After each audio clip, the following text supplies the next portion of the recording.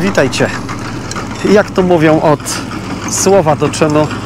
E, W poprzednim filmie mówiłem o moich planach na temat e, rozmieszczenia tutaj e, od po- poszczególnych roślin, jak również na temat, ale wieje, na temat nawożenia. Także tutaj ja sobie ten fragment działki odpowiednio nawożę. Zobaczcie, jest tego sporo, na gęsto. Z uwagi na to, że mam sporo swojego obornika, który w większości chcę wykorzystać właśnie tutaj na tej działce. Właściwie to na moim ogrodzie.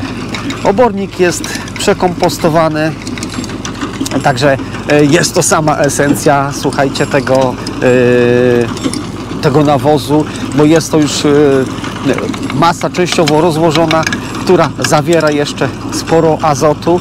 Ten azot nie został, nie, ule, nie, nie uleciał w powietrze do atmosfery. On tutaj zostanie te, zmagazynowany w glebie, zostanie zamknięty w glebie w wyniku tutaj prac, e, jakie wykonam, czyli będzie to przeorane. I właśnie ten fragment pola chcę wykorzystać sobie pod e, zasiew. E, no tutaj myślę po lewej stronie, tak jak widzicie, po lewej stronie będę chciał wysiać sobie e, pietruszkę e, o zimo, na, na zimę. Będę chciał e, wysadzić czosnek, no tak jak mm, może jeszcze spróbuję rządek wysiać, pasternaka. E, no oczywiście czosnek, cebulę wysadzę, no tak e, zobaczymy jak to będzie. E, więc tutaj my działamy syn akurat dzisiaj ma, ma, ma trochę wolnego, więc e, usiadł ze sterami maszyny, sprzętu. E, Każdy z nas ma co robić. Ja jestem też w trakcie teraz e, wykonywania tych swoich takich obowiązków w domu.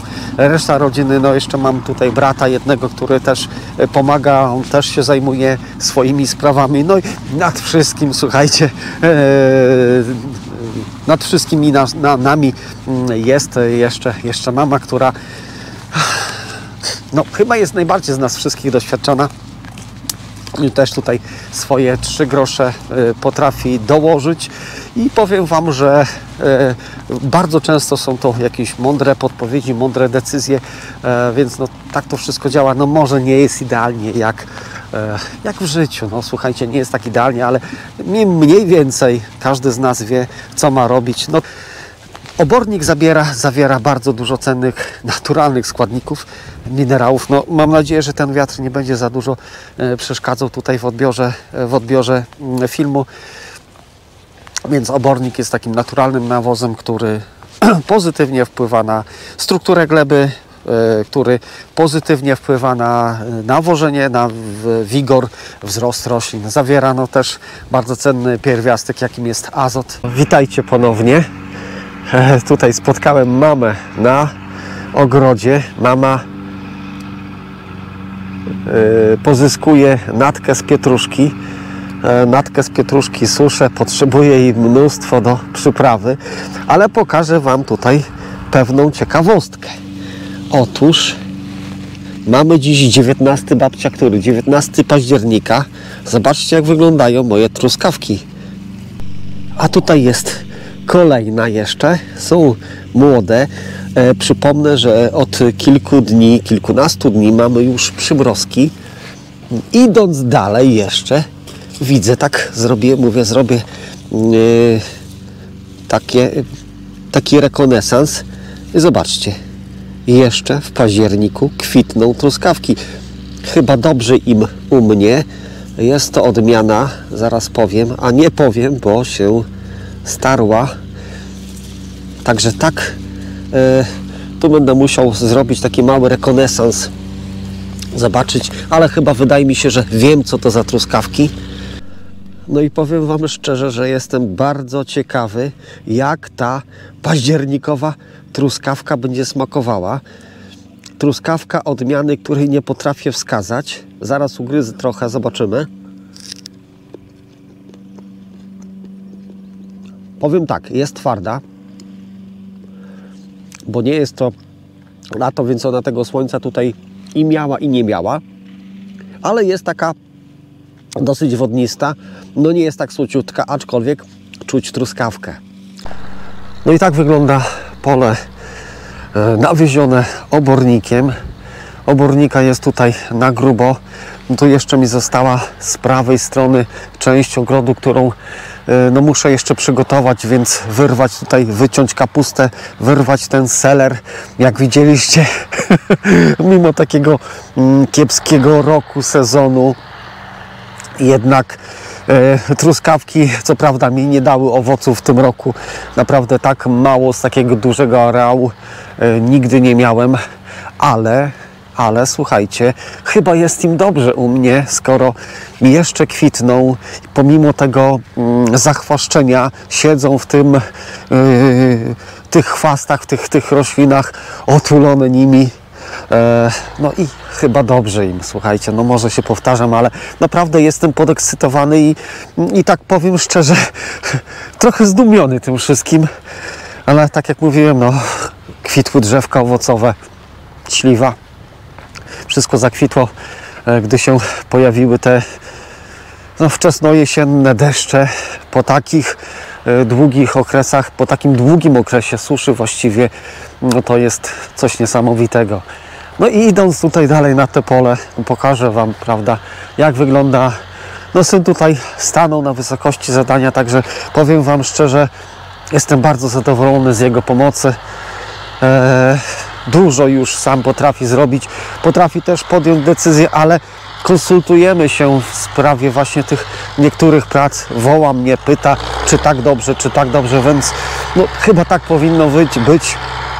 Więc ja jestem bardzo mega z niego zadowolony.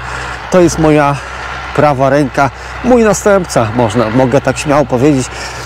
Chociaż nie żegnam się jeszcze ze światem, ale mogę powiedzieć, że łatwiej mi będzie odejść z tego świata, wiedząc, że mam takiego godnego następcę, naśladowcę.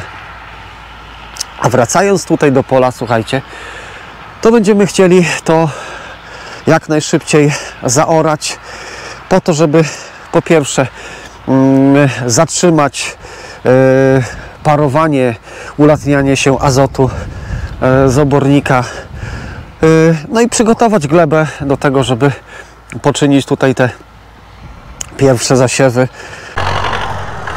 No i tak jak było powiedziane, że za chwilę będziemy to przyorywać, mieszać z ziemią, z glebą, więc ta część przed nami została zaorana, przygotowana już na zimę.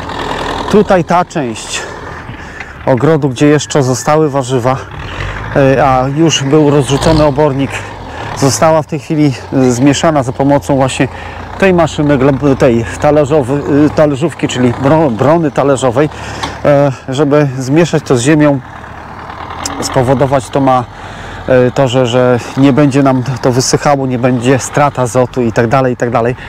No, liczymy na to, że może popada, aczkolwiek prognozy pogody na najbliższe dni mówią, że, że tego deszczu po prostu nie będzie, także nie ma grzybków, no ale słuchajcie, e, każdy kij ma dwa końce, więc e, każda sytuacja i każda pogoda też ma swoje plusy i minusy.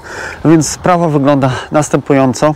Tak jak już pokazywałem, e, ogród coraz bardziej jest przygotowywany pod jedna część pod spoczynek zimowy, a druga część pod uprawy. Także jest zostało nam jeszcze zebrać te resztki warzyw, wszystko to zabrać, sprzątnąć z pola, dowieść jeszcze mm, obornika, nawieść to obornikiem, zaorać. No jeszcze na koniec pokażę Wam seler naciowy. Zobaczcie jaka bryła korzeniowa. Szukał, szukał biedak wody. No liście są piękne, no pięknie to wygląda.